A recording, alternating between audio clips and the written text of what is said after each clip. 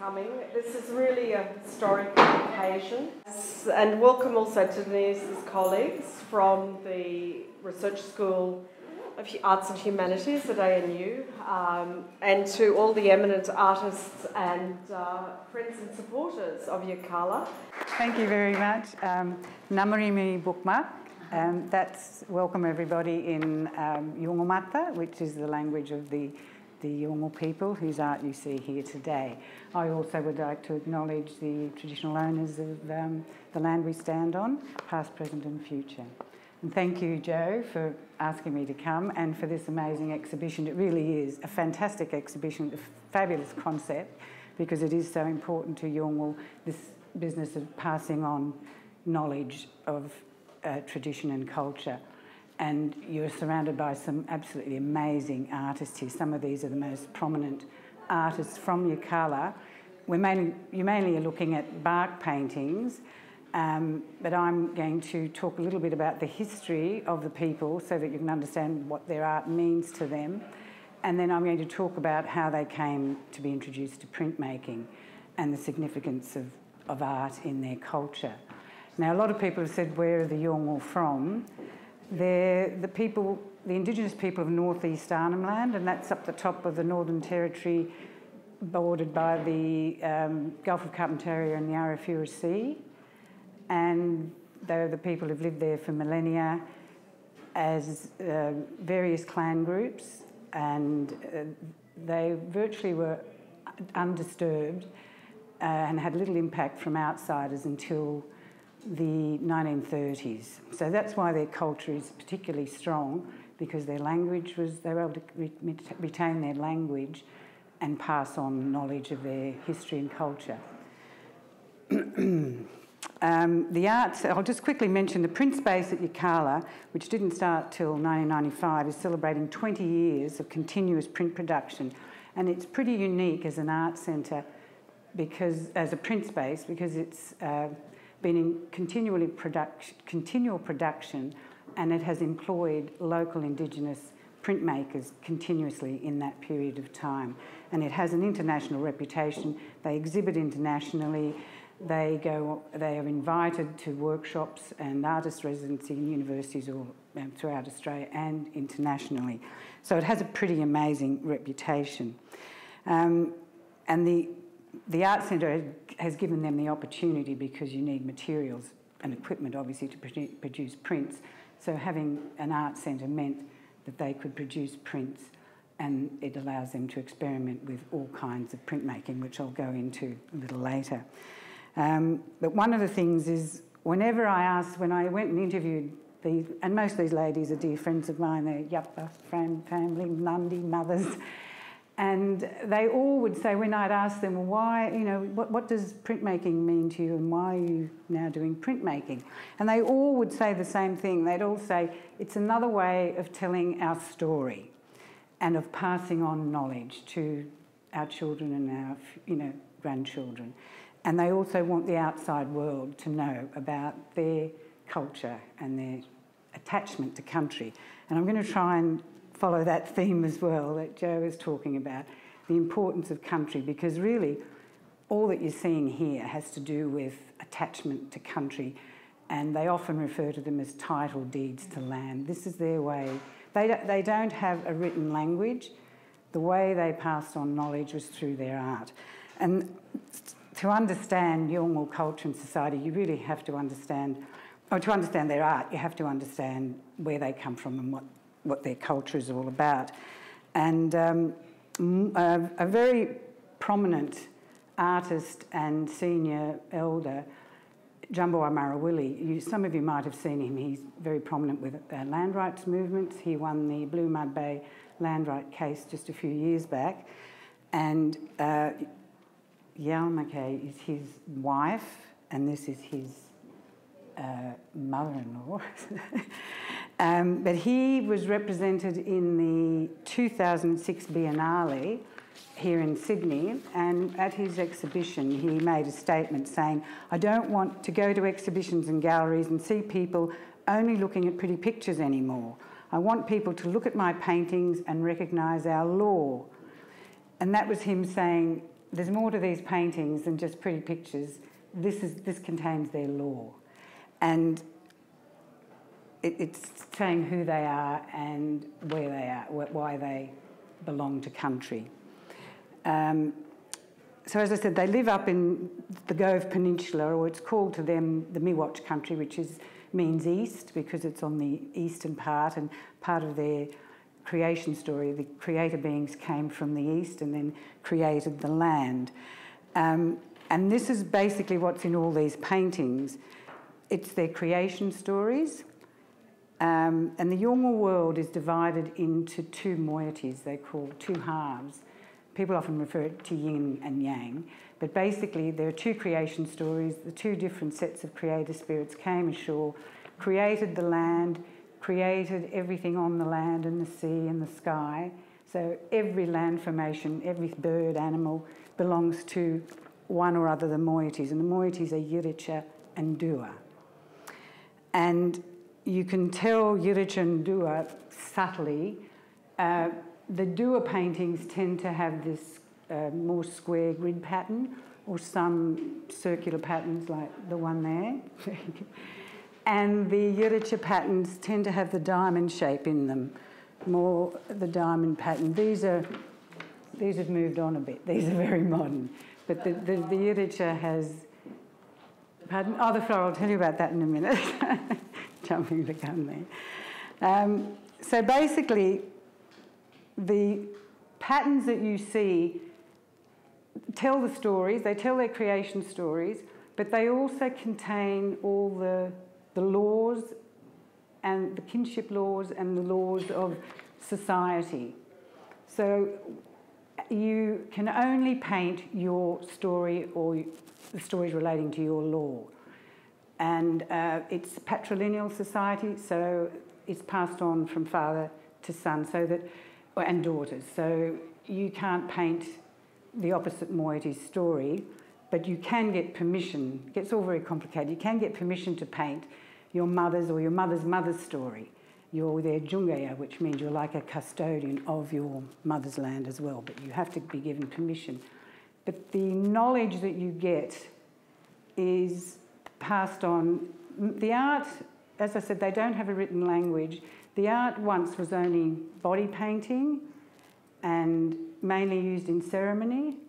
And at each ceremony, the person going through the initiation would gain more and more knowledge. So they'd, um, there's somebody at the door, they can come in. So with each initiation ceremony, more knowledge is passed on. And the people who are become the seniors, the leaders, are the ones who get the most knowledge, for want of a better word. Um, the, the patterns are called miny'tji, is their word for pattern or design. And as I said, it's clan specific, so each clan has their particular story. And I'll go around here in a minute just to tell you a little bit about some of the stories.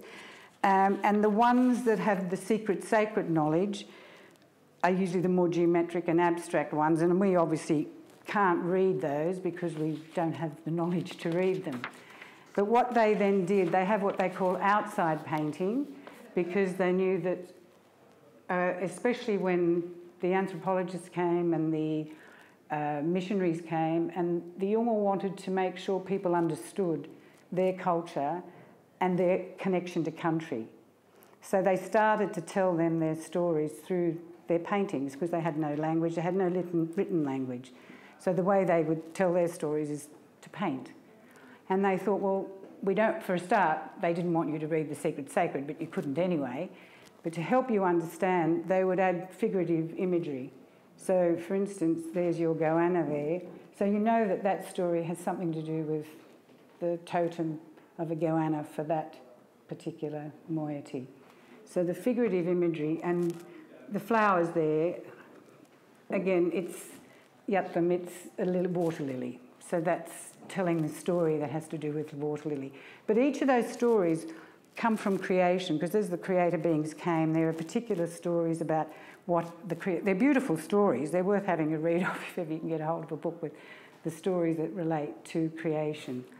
And that's another thing that when the um, the missionaries came in the 90, it wasn't as I said till the 20s and the 40s. The missionaries, the anthropologists came, and the missions encouraged them to paint, uh, and also for sale because they wanted them to have a source of income. So um, they also encouraged the women to paint too, and this is where it all started. But in the 60s, uh, the, the, the, 20s and 30s, the Yirrkala mission was actually established in 1935 on Rirratjingu clan land, and that's, in fact, that story there, Yalangbara, is from the Marika family, and Mawalan Marika was the traditional senior landowner. He gave permission to the Methodist missionaries to establish a mission at Yirrkala, and that it was 1935 when it was first started and he uh, then encouraged them to paint, as did the next missionary, uh, Reverend Wells. Um, and the Yolngu did this because they wanted to make sure people understood this was their country and what it meant to them. Um, they also were very, um, the dynamism of their art is reflected in the fact that they were quite willing to change Bark painting was really not used much. It was an introduced thing. They called it suitcase art. So that people could put in their suitcases and take it away. And, and a lot of the anthropologists, a lot of um, the first collection for the Art Gallery of New South Wales, one of the anthropologists and um, the directors of the museum went up and bought a whole collection down. That's one of the earliest collections of barks from Arnhem Land, is in the Art Gallery of New South Wales. But then there were the, uh, another lot of anthropologists, the Berndts, um, went to Yirrkala and Ronald Berndt, he got worried because he thought, oh, I can't take the barks. They're going to, they're fragile. They won't survive the journey back to Perth. He was head of the Department of Anthropology in Perth. So he got his father to send up crayons and paper, butcher's paper, and had the Yolngu paint their stories on paper. And I mean, they're the most exquisite drawings you have ever seen. And sadly, the exhibition's finished, but there was an exhibition of these at the Art Gallery of New South Wales last year, year before. They're, they're absolutely amazing and they're in pristine condition because they were kept in a drawer for many, many years. But the, the wonderful thing about these is that it shows how adaptable the, the Yolngu were with their art. They were, they were keen to get the message across and their sense of colour is quite phenomenal, considering they never went to art school to learn about the colour wheel or anything. But, uh, and they tell stories like that of the swords of the Macassan, because they traded with Macassans way before they had any contact with Europeans. They had a lot of trade and they picked up words like they call white man Balanda, which comes from, from um, the Macassans. But that, that was a beautiful exhibition, that one. Um, then uh, in the 1960s, with the mining exploration, they discovered bauxite, and things don't change. There's those issues that we're confronting today, the Yolngu confronted back then, and they were very concerned about their land being excised by the federal government to give to the mining company Nabalco, a Swiss Australian consortium, to establish a bauxite mine and a plant and a township. And they were anxious that this didn't happen with any consultation. And Reverend Wells assisted them in putting their case to the government, and the government sent down a couple of politicians, including Kim Beazley Sr., who, when he, oh, I forgot to mention the church panels, when the missions were there, I have to backtrack a little. When the missionaries came, the Yolngu also thought, you know, you've got your system of beliefs and your religion so do we. And they painted these two amazing panels, which are about three metres, three and a half metres by uh, one and a half metres, masonite. And each of the um, moieties, the Yirritja and the Dua, created a panel basically telling their creation story.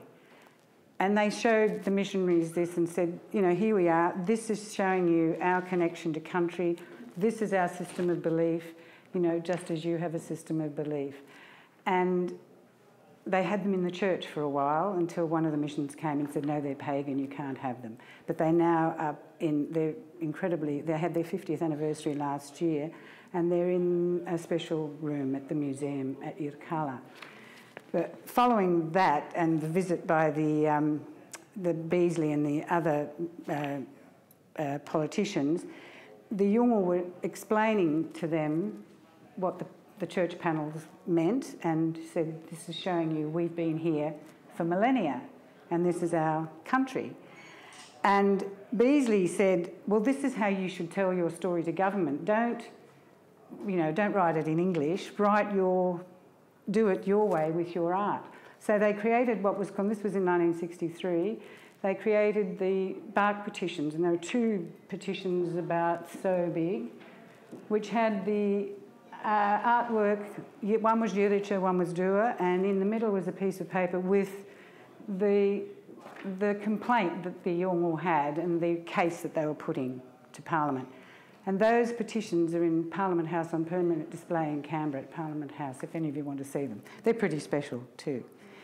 And as Joe said, that led to the first land rights case called Milirrpum versus Nabalco and the, the Commonwealth Government. And sadly, we lost, we lost that. they lost the case. And Justice Blackburn, who was the judge presiding over it, it was an amazing case and it's fascinating reading because the Yolngu had, an, had a couple of the younger Yolngu men who'd been trained at a Bible college and had a command of English including Galarrwuy Yunupingu, they went to be translators for the older Milirrpum, being one of the um, defendants, complainants, plaintiffs.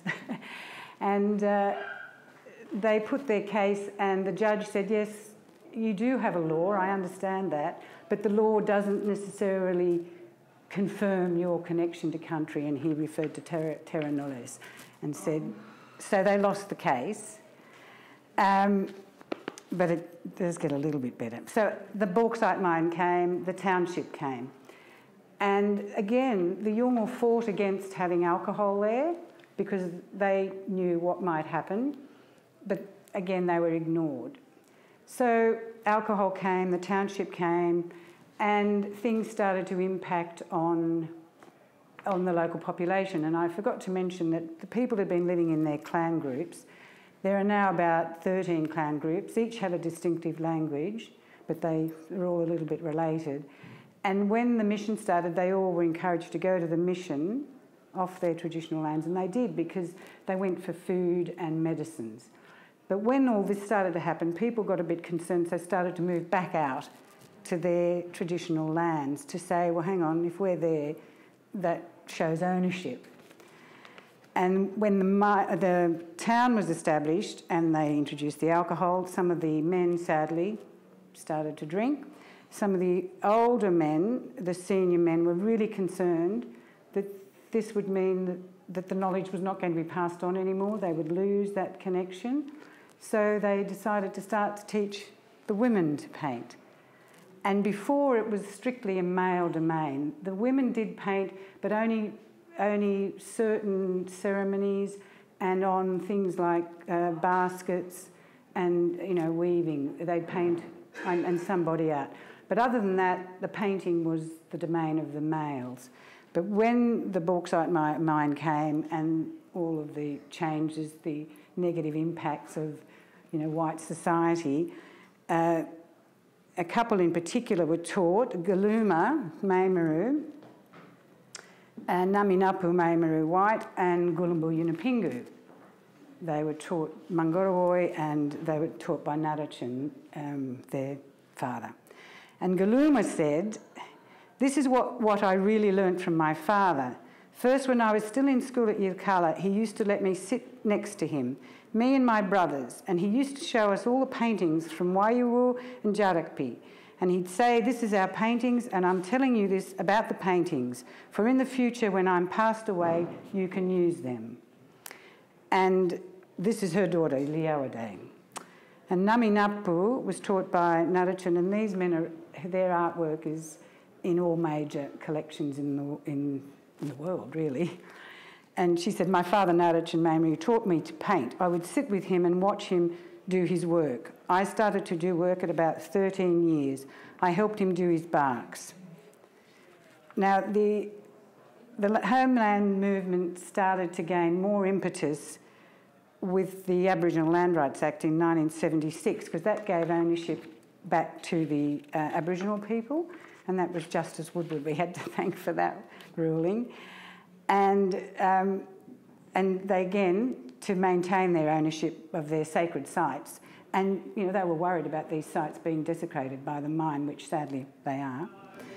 Um, and there are about 26 homelands around the Yirrkala area, varying in number. There might be 20 in some, up to 200. And a lot of them, uh, you know, it's dirt tracks, three hour drive down dirt tracks to get to them. So they're pretty isolated. And when they started them, get annoyed when they go on about the funding at the moment, because these people did it themselves. It was their decision. They wanted to do it. They built the houses out there. They dug, you know, cleared the airstrips. So they established the homelands initially, and then the government came in with support.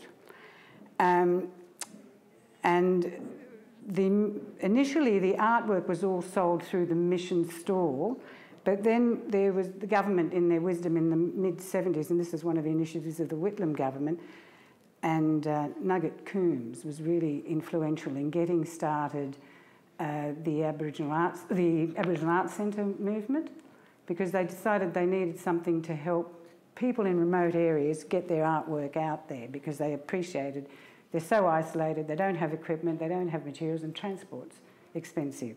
So the Art Centre movement started in the mid 70s and provided expertise because they employed people uh, to manage the Art Centre, art coordinators who had knowledge and contacts outside to facilitate you know, the artwork movement. Um, and Steve Fox, one of the first Art Centre managers at Yirrkala, had, had a background in printing and he started to encourage, he could see the women were amazing carvers. They'd come in with carved artefacts. And he, one particular woman called uh, he was just amazed at her skill. So he started to teach her to, to do little, they just did the hand um, printing. And then they actually sold them down south. Um, and then in 1994, he applied for a grant to have a dedicated print space built. And that was actually established, the print space, at the Art Centre in 1995. And um, they're very fortunate at Yirrkala. They've had a, a, run of fantastic Art Centre managers and coordinators, people who are really caring and concerned about maintaining the Yolngu culture and art.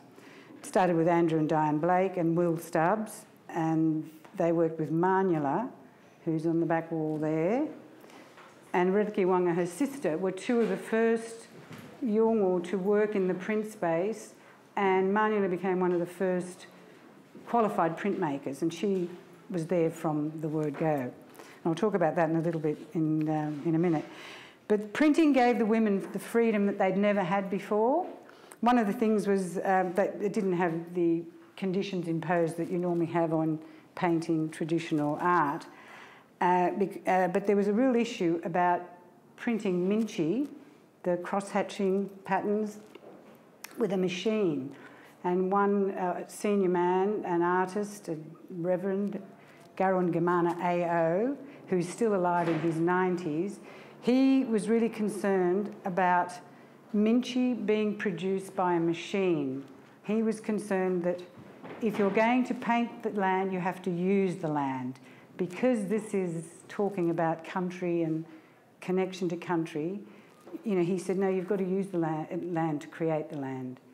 And it, when, you, when they look at that, that's them the connecting to their ancestors because the Yolngu have a vision of the cosmology is a cyclical one. It's not linear like ours where we talk about the past, the present and the future.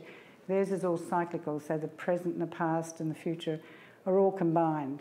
And the reason it's really important to have your connection to country because when you're created, you come from the land. When you die, you go back to the land of the spirits.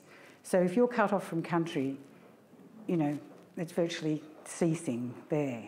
So you can't be recreated and the cycle is broken. So that's one of the reasons they're really particular about connection to country.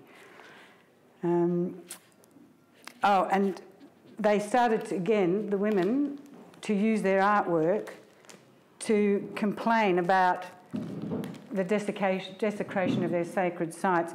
This woman, who's sadly deceased, Gamelina Pingu, she was one of she was a wild lady. She was one of the most amazing artists. She was great fun, and she painted the most. You can see the colours, and this is a collagraph, and it's a monoprint. She did a series of these, and they're all different colours. But basically, what she's done there, she's painted the mine site, and you'll see these funny little buildings, the conveyor belt that transports the bauxite to the crushing, the crushing plants on there, and then to the plant where it was processed. And then there's a, another image that shows you the wharf with the boats where the, the processed bauxite is loaded onto the boats. And in all of those images, she's got totemic animals, sacred sites, so that she's showing, hey, you've done this, but this is what was there, or this is what we're trying to preserve. And, you know, she was in her 60s when she was doing those. They're pretty amazing. The print space was considered very much a male domain.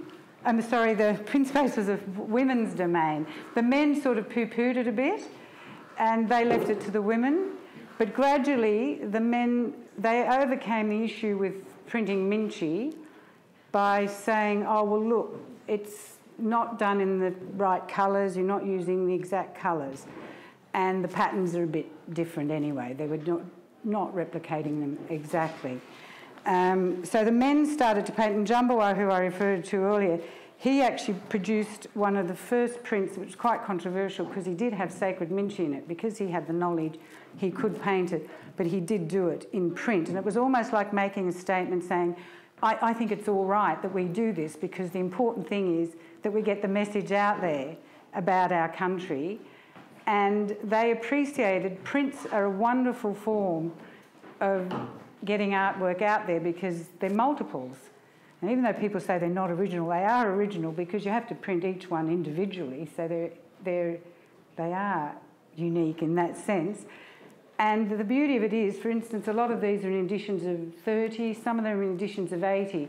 So they appreciated this really meant a lot of people could be exposed to the messages they were trying to get out there. So they really encouraged um, encouraged that, and the men started to get more involved in the art centre. Still mainly the women, but a lot of the younger men now are really excited about printmaking as well. Um, and they've had workshops on site at Yirrkala, getting master printmakers to come on site to teach them new techniques. They're very funny. They'll say, yeah, we're sick of doing collagraphs, we want to do something different now. They're amazingly creative and always anxious to learn something new. So the Art Centre is always having to think of new things for them to do, and they have workshops on site, plus the women do go to workshops uh, off site. Basil Hall, who helped set up the print space, is very instrumental in running a lot of the workshops up, up there. Um, and they have every year at the Garma Festival. I don't know if any of you have been to the Garma Festival. Every year it's a cultural festival up there. They have uh, an outdoor uh, exhibition of the prints. It's called the Gapan Gallery. It's absolutely beautiful. It's out amongst the trees in the bush. And each year they produce a series of prints to exhibit at the Gapan Gallery. Uh, now, I'll, I'll, talk about a few of the artists. Um, I was going, I'm going to start with Banduk Marika. Banduk um, was probably one of the first female Yolngu artists to start printmaking, but she actually started it down in Sydney. She'd married a non-Yolngu man, came to live in Sydney, and Jennifer um, Isaacs became her mentor. And actually, uh, Banduk was homesick, so Jennifer said, "Why don't you do some drawing?" And she said, "I, I wasn't a drawer." she'd watched her father paint, but she, he, she was only very young when her father was teaching her sisters, her older sisters, to paint. But she'd learnt from him, so she knew his stories, but she'd never painted. So Jennifer taught her how to print. And she had this amazing talent for printing. I've got some of her other prints here. Um, and she's done a whole amazing series. This is one of my favourites. Um, and she's gone from very traditional, uh, the black and white lino cuts, which is what they started really with black and white. Because they were used to carving into wood, they did wood blocks and then lino cuts, and then they went on to screen printing. That's her very latest work, so these very abstract. And I'll, I'll talk about those a little bit in a, in a, minute because they're quite significant, the Yalangbara suite. Um, so she started and she ran exhibitions here in Sydney. She had a company with Jennifer called Mialco, and they had an, uh, a gallery in North Sydney that four, uh, four seasons, seasons, four seasons, the Seasons Gallery that they exhibited in. She returned to, in the mid 80s, she returned to Yirrkala to be with her family and was asked to manage the art centre, which she did through till the 1990s. And she was really keen to establish a print space of excellence, as she called it. And when she had a thing going with uh, Wollongong University, they were very keen. They sent people up, they ran workshops up there. People went from Yirrkala, women went down to Wollongong University to do workshops. And they, they put in an application grant. It was all sort of go. And then, of course, um, the uh, Steve Fox's grant application came through, and the Art Centre got their print space. So Banduk's dream of her centre sort of got incorporated into the print space that started at Yirrkala.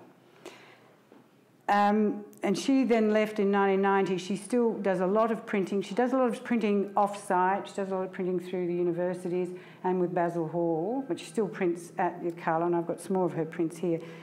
But the amazing person is her daughter, Ruby, who did this little print here. Ruby, her, his father is a Balanda, and she went to live with him in Newcastle for a long while, but chose to come back to Yirrkala to finish schooling. And she did work experience at the Arts Centre. And when she left school, she was employed as a trainee printmaker. And at 18, she was working there as a printmaker. She was organising exhibitions. She co-curated an exhibition in, in Darwin. She went to the school and helped the kiddies create this calendar, printed, all printed. And um, she went down to Melbourne. She curated an exhibition. I'll talk about that later, Yutta, with all the young people. She created that down in Melbourne and did workshops at Alcaston Gallery, one of the major galleries in Melbourne. And this was all while she was still in her teens. She's since had two babies. she's about 22, and we're hoping she's starting to print again. But she's an amazingly talented young girl, and she's incredibly mature for her age, and she's one of the, the bright talents that they have up there. And when she talks about her work, she's really interesting because she talks about the fact that she's been influenced by two cultures, her Yolngu culture and her Balanda culture. And she says, when I do my work, I'm influenced by both, both cultures. Now, the Yalangbara, the painting that her mum, mother has done, is Yalangbara is their sacred site of their creation story. That's where their creation story began. It's called Port Bradshaw. And that's where the creator spirits, came, the Jungle sisters came ashore. They created the, the water wells, they, the springs, they created the land formation, they created the, the Rirratjingu people. So that's really sacred for Rirratjingu, that story. And she says, I'm inspired by my mother's stories to tell them in her work. Um, the other one around the corner, Rulyappa, and just as I was just saying, that it all has to do with their identity. You know, I, we belong to this country. Rulyappa refers to uh, a channel of water that runs between the mainland and Bremer Island, Gunjangan, Dhambaliya, which is their, again, their traditional land. And that features a lot in the Rirratjingu clan um, paintings. And she also follows in that a print that Joe was holding up, which is very abstract. Banduk really steps way out of the boundaries. This is really abstract. And when she described that, she called it Minchinara. And Minchinara means it's my pattern. and she's saying that, and, and it has no story. But what she's saying there is, this is my interpret. This is a rough interpretation of, still based on family story, but it's my interpretation, my colours. Uh, so it has no secret, sacred meaning. Is basically what she's saying there. But she really gets quite um, creative with her work. Um, Naminapu Maymuru White, who does she, these beautiful Milky Way. She's an amazing woman, beautiful lady. She managed, she was a manager, she also started very early on in the art centre. I better keep an eye on the time. She was um, the manager of the art centre from 1990 to 1996. And at her opening speech, she stressed the importance of passing knowledge on through art. She said, Yolngu art is very important to me because it depicts Yolngu life from the beginning of time, the present and the future, the survival of the Yolngu culture, traditions, customs, laws, social behaviour, spirit, spiritual connections with the land, environment and the universe. For thousands of years we've kept our art alive and we will continue to keep it alive for our children, children's children, and the future generations. She won the, the 1996 inaugural Works on Paper Award at the Telstra Art Award with uh, a work, a triptych. I was going to bring it, but it was too complicated to bring. It's an absolutely beautiful. She did a black and white version in 1993, and Theo Tremblay, who was at Canberra School of Art, he was a, a printmaker there. He was so impressed with it he suggested to Basil Hall that it should be done in colour because it was so beautiful. And it was a triptych and it was of uh, Nyapililngu Wapacha. And Nyapililngu is the female creator spirit for her people, and the Wapacha is the digging stick that the creator spirit went round creating the features of the land. And uh, so she won the 1996 inaugural Works on Paper at the Telstra uh, Art Awards. And I wanted to show you this because it's very beautiful, I think. One of her most recent works, and I'm sorry, I printed this, printed this out at, one of the bills from? Don't tell. Um, this is her doing her last, uh, most recent etching that she did in Canberra at a, she was artist in resident again at the Canberra, um, at ANU at Canberra School of Art with Heather Burness um, another great printmaker. And this is where, when I talked about the colours are different, she was Heather. I spoke to Heather about this. Heather said she was so keen to get the colours right. She wanted to get the ochres because they used to paint with the ochres. There's black, white, and the ochre colours was basically all they had in their palette. So that's why doing this is quite amazing because they'd only ever done black, white, and ochres, but the ochres were sort of yellow, orange, red. And she was really keen that this be really, really close to the real thing, to the extent, I don't know if you can see, that's her hand up there with a little hairbrush. They used to paint, some of the really finely detailed cross hashing is painted with Mawat hair, hairbrush. They actually, they'll come up to you and they'll go, oh, you know, yucca, uh, that's no good. my hair was no good, they didn't like my hair. But they'll find the right hair and then they use it. And that's why they say that's also connection to country as well. You know, you're using the hair to paint. The, but there's also a very sad story attached to that because oh, I've got that upside down. Sorry, I should have it like that. That's her hand. I've got it on both sides. Um, but when she started this, when she was in um, Canberra with Heather on the um, residency, her son tragically, her eldest son was tragically killed. So she stopped and she went back, and it wasn't until she bumped into Heather, uh, it was almost 10 years later, that she said to Heather, Heather, I'm ready to finish that now. And that is quite significant because this, the, the stories that the sand crab, if you have a closer look, it's eating the, the bones of the fish there. Gunyan is the crab, and the crab in their mortuary ceremonies, the crab eats the crab eats the flesh off the when they've eaten their fish during ceremony, they throw the fish bone, the remnants there, and the crab eat all the flesh off. And it has a significance in their mortuary rituals when with burial. So this was really poignant because it had significance with her with her son dying. and that's why she couldn't touch it for 10 years. But then one day she said, I can finish it now. And it's exquisite. It's a beautiful piece of work because of the fine detail. And it's really unusual to have it finished with the hairbrush like that. Um,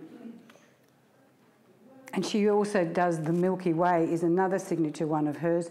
And that again tells the story of the Mangalili people. That's where the creative spirits come from and where they go back to. Um, they reside in the Milky Way. Um, and also the home of the ancestral crocodile, because the crocodile features, the Baru features for the Mangalili people, and the Gumatj people, which are uh, Gulumbus, which I'll talk about in a minute. Um, now, she, her daughter uh, doesn't paint, uh, doesn't print, sorry, but she's passed on her knowledge to her niece, who Aralun Naminapu Tu Maymuru, who became a manager of the print space for a number of years. Um, and she did a number of prints. I've got some of her work here. She's done some beautiful prints of Bati. That's hers there. The Bati, the Bati, the dilly bags. And on the back there's another one. Um, so she was a print space until 2002, 2010, and then she went to work in the Mulka. They've got a Mulka centre for where they're repatriating a lot of material, electronically, digitally recording a lot of the um, material that they're getting from archival material and that. So she's been working there, although she's left there now. Um, and Nongirrna Marawili, who's down the end there, Nongirrna uh, used to assist her, she didn't do much painting of her own, she used to assist her husband, Djutjadjutja, who won the 1997 Telstra Award with his bark. And their two daughters, Rerrkirrwana and Marrnyula, were two of the first, as I said, women to work in the print space. And Rerrkirrwana won the 2009 Best Bark with a bark quite reminiscent of the one right on the far right there. It was an absolute jewel of a piece. It was quite amazing. Marrnyula started the Art Centre, as I said, with Steve in 1990 because she wanted to learn more about painting. And um, she's one of the most prolific artists they have. She, eh, she's always wanting to try every art form there is going. She's done a lot of commissions. She, one of her most um, important works, I think, is she was commissioned to do a poster for AIDS awareness up there, and they turned it into a. She did a bark, which they then copied into a poster. Oh, where is it? And it's now, the funniest thing was when I, I went back there a couple of years ago, and I went, it was commissioned by the Communicable Disease Centre, and when I went there, is it, where it? Uh, to have a look at it, to look at the original bark, I walked into the office of the guy who's running the, um, the Communicable Disease Centre and I saw these things, these tubes sitting on the shelf. And it had the, bar, the print, the poster, wrapped around these little tubes. And I said, What are they? And he said, they're condom dispensers. so she had. Oh, have you found it? Oh, on the back there. That's the poster that came from the bark, and she has since done a. Uh, she's since created a screen print on, of that, but it's quite different because it's done in colours. But I just thought that bark that was created in 1993 then became a poster which was distributed throughout the communities. And then in 2011, it's being used to sell the condoms and alert them to the health aware issues. Um, gosh, I'd better hurry. I'm sorry, I'm going on, aren't I? I'm nearly, nearly done. I'm just talking about. Uh, one of the most important things she was in, uh, project she was involved in was something called the Djalkiri and it was a cross-cultural collaborative project. And it was coordinated by Rose and Angus Cameron of Nomad Art in um, Darwin. I don't know if any of you know them. They're quite amazing. This is the catalogue. And they wanted it to be a, a cross cultural experience, homeland experience, to promote understanding and mutual respect.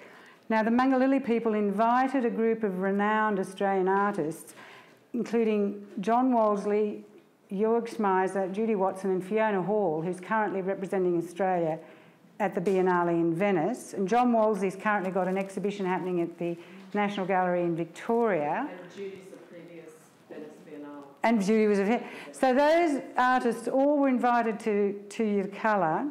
Uh, well, they went to Yirrkala to get to the homeland, which is Yilpara. So they had to you know, a track to have a cross-cultural experience and a sharing of knowledge. And as the the Yolngu artists involved were Leo Gulumu, um, uh, and they all said, you know, these white fella artists are funny. You know, they had to, they'd go around, they'd pick up things off the beach, they'd get the leaves off the tree, and then they'd sit there before they did their, their work. And the white artists all said, God, those Yolngu are amazing. When we sat down to do some work, they just do it. they knew exactly what they were going to do because their stories are all in their head. And they always say, it's here and it's here. And we always have it with us. So even though you might buy their artwork, you can't take it from them. so that was a really significant um, uh, experience for all of them. And Mulkun, who was involved, um, Mulkun. Oh, she's in the window. Mulkun's in the window she was really concerned about the loss of knowledge about traditional foods and plants. So she started to incorporate a lot of the foods, especially the yam and the, the roots of the, the vines and things like that, and the water chestnuts, and she started to paint them. And John Wolseley, who's this amazing man, he, she adopted him as she has a relation, adopted him as her son, I think.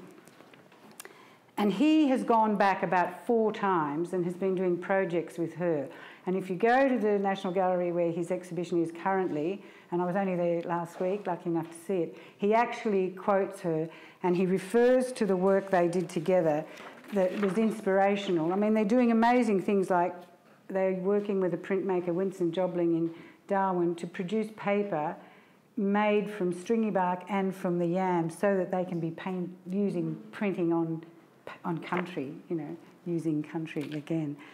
But uh, John Wolseley said that um, for me, the great miracle of that morning rested in the moment of time, being there, seeing the living land and sensing the deep time, so intimately linked with the life and art of the people who have lived in it for so long. And I think that reflects the importance of the collaborative experience involving art and printmaking taking place on country because, you know, it educates people about the importance of country to the Yolngu, the significance of it all. Um, now, Gulumbu, the late Gulumbu Yunupingu, some of you may well have said she's had exhibitions, you know, the MCA almost dedicated a whole room to her. She won the Telstra Art Award in 2004 with an installation of larrakitj, which are the ceremonial poles, very similar, to, based on that theme of uh, Garak, the sky, or Ganyu, stars, and she tends to always paint with them. She was one of the eight art, Indigenous artists that were invited to, to help decorate and participate in the opening of the Musée de Quai Branly. Has anybody been there? It's beautiful, isn't it? And she was one of the artists, and they've dedicated a whole floor to her work. So if you go up to the second floor, the, sky, the ceiling and the walls are painted with her stars. Whoops, sorry. So her stars feature. So you walk along the Rue de la Université and you look up, and there are Gulumbu stars in Paris. but, um, and she saw this as a way of uniting the world. They're very all inclusive, they're very forgiving, they're amazing. They want to share country with you, they want people, they want to share their culture and their stories with you, and they're very keen for people to understand their culture. But she sees this as unifying because she said, it doesn't matter what colour you are, we all look up and see the same stars in the sky. And she saw that as, you know, unifying us all. And now that she, apart from her art, she had very strong Christian beliefs, which she managed to reconcile with her Yolngu beliefs. to the extent that she translated the Bible into Gumatj, her language. Um, and she had such faith in her traditional medicine that Dhambit, her daughter, you might think these look very naive, but Dhambit is actually in a wheelchair. She was hit by a truck. She was sent to Darwin. They told Gulumbu, you know, I'm sorry, your daughter is not going to survive this. And if she does, she's going to be a vegetable. Well, Gulumbu would not accept that. She sat by her bed day in, day out, and used traditional healing on her. Gum- Dhambit is now very articulate. She's painting, having exhibitions, and it was all due to her mother's faith and dedication. And so it continues. These women all pass on their knowledge to the next generation. And as I mentioned, people like Ruby, this current generation, they've got issues, obviously, of colour in the community with, you know, petrol sniffing, substance abuse. And a lot of the kids were dropping out of school, so they wanted to.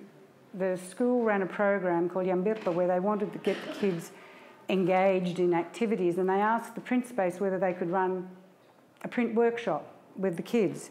And they had this workshop called the Yutta Project, which I've got. Oh, there's one, that's the Nutter. Oh, the first one they did was a Nutter project where they did self portraits and they got the kids in. Of course, they used some technology that the kids were familiar with. They had them taking photographs of each other, which the kids love to do. And then they photoshopped them and incorporated them with lino prints. And they did this whole series called Nutter, which was groundbreaking in itself because the Yolngu don't do self portraits. Because they're communal and they have a sense of their sense of identity is to do with, with your kinship and your people, they don't see themselves as individual, they see them as part of a whole and they suddenly were producing these self-portraits. So that in itself was uh, my uh, groundbreaking. I think it was right at the bottom. It was, but I'm sorry I've been shuffling them. And, uh, and then they, um, this Yutta project, which, there it is, the Yutta project, which uh, Ruby virtually oversaw the project, involved the kids going out into the community to take a photograph of what aspect of their community, you know, that a lot of people go there and take photos and say, oh, this is Yirrkala. And they said, you go and take a photo of what you think is significant in your community. So these kids who were all uh, disengaged, and some of them had serious issues with substance abuse, they all went out and took pictures and then they printed them and they had this I just had the Yutta thing. What did I do with it? Uh, no, no, no. I had the Yutta thing in my hand. Oh, here it is. they went out, they took all these, honestly, these are the sort of, this is swings. Um, this is a tree. This one won an award at the Gove Art Award. and uh, that's one of the trees where they all used to hang out, and they're the stars, they're Gulumbu's stars. And uh, Oh, that's the Telstra Tower. that's Ishmael. He's just been over to the British Museum for the opening of the Indig- Australian Ishmael. Yeah. He's and he's a video artist as well, young Ishmael. He's an amazing young guy.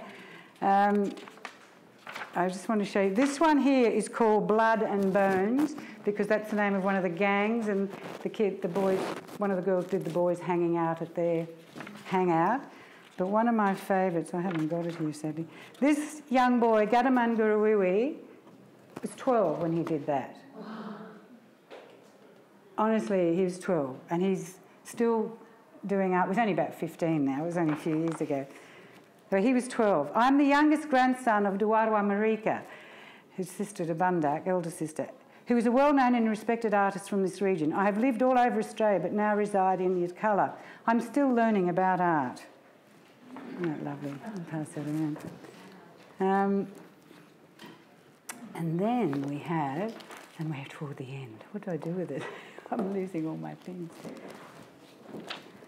Um, what do I do with it? Okay, I've got a spare one here. Then we have this. Gulumbu um, inspired two of her granddaughters, and these are the daughters of the late Dr. Yunupingu, who died a couple of years ago, leader of the Yothu Yindi Band. These are his daughters. And Gulumbu was like their auntie. She's, she was Dr. Marie, Dr. Yunupingu's uh, sister. And they submitted the, uh, this to the, it was a competition for a poster to commemorate the centenary of International Women's Day. So we get the feminist issue in here in 2011. And they won with this poster. And I think you can see in the background, it's got Gulumbu stars in the background. And they said this was them getting their knowledge from their aunt and using that in their work, and they're pointing to the future. And that's Bulmuri and Dappenbal. And I think that's a good note to end because this is the younger generation who are looking to the future with a foundation from their and you know, knowledge and leadership from the older generation. And as their parents and their grandparents did before them, they're now responsible for passing on knowledge, educating the outside world, and making the outside world, you know, aware that art affirms their spiritual relationship to the land and their duty to care for it. I think that's it.